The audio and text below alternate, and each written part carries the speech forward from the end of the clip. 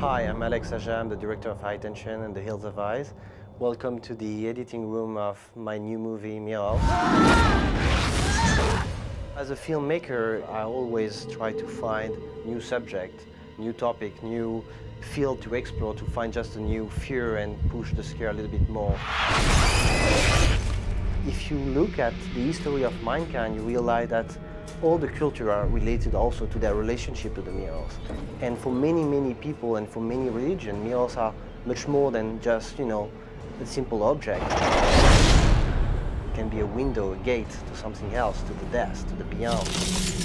That was really interesting for me as a filmmaker. And so what if tomorrow the mirrors stop reflecting what they are supposed to do, but just show you something else, something that you're not supposed to see.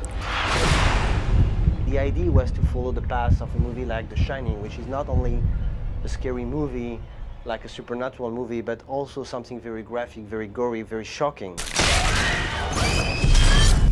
We have a great subject, mirrors, because mirrors is just like something so universal and so graphic. I realized that we could have something to deliver to the audience a new kind of fear, something that they will follow them after the movie something that will change their way of watching mirrors.